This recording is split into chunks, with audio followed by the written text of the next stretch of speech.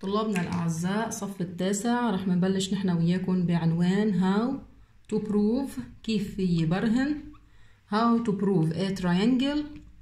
شو هي الطرق اللي فيي استعملها لبرهن triangle هو أي isosceles triangle. كيف فيي برهن isosceles triangle طيب هن بالتحديد عندي ست طرق لبرهن isosceles triangle.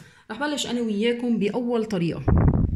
أول طريقة شو بتقلي؟ لبرهن isosceles triangle بيكون عندي for example بهيدا الشكل هيدا triangle بكون عم يقول لي برهن إنه هيدا ال ABC هو isosceles triangle أول طريقة بده يكون عندي two sides are equal two sides are equal. إذا كان عندي two sides are equal بيكون شو؟ isosceles triangle. تاني طريقة اللي هن معروفين هولي two angles are equal. إذا كان عندي two angles are equal شو بيكون ساعتها هيدا كمان isosceles two angles are equal بيكون كمان isosceles triangles. طيب ثالث طريقة شو هي؟ وهي اللي بتمرق بأغلب الأوقات معنا. ثالث طريقة لبرهن isosceles triangle بيكون راسم لي خط بهيدا الشكل.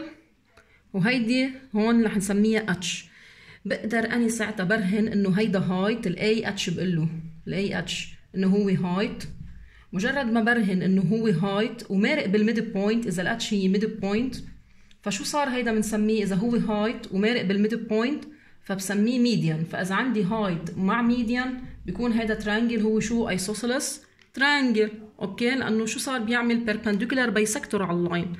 طيب رابع طريقة بيكون عندي height بس قايل لي إنه هو height ما قايل لي إنه بيمرق بال midpoint. يعني ما في يقول median قايل لي برابع طريقة. فإذا إنه هو height إنه هيدا height وقايل لي إنه هاي ال angle قد هيدا ال angle فشو صار هيدا bisector فإذا height مع bisector شو بيكون ساعتها؟ بيكون عندي isosceles triangle الطريقة الخامسة ممكن يقول لي إنه هو median يعني مارق بال midpoint وكمان هو شو؟ bisector كمان هيك برهن إنه هو شو؟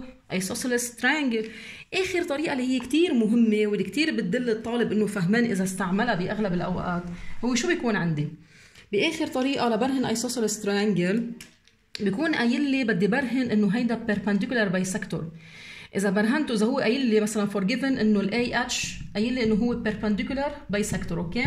طيب إذا هو قايل لي perpendicular bisector بيجي بتذكر هالقاعدة اللي بتقول لي حيلا ال point على ال perpendicular bisector شو بتكون؟ بتكون equidistance وهيدي عادة بتمرق معنا. فإذا بقول له any point in a perpendicular bisector is equidistance from B and C. فهيك بيطلع معي ال AB شو بيساوي؟ ال AC فصار isosceles triangle. okay؟ ليه لأنه ال AB بيساوي ال AC طيب بالتوفيق للجميع ما تنسوا تعملوا subscribe على الصفحة اللي عندنا إياها على اليوتيوب.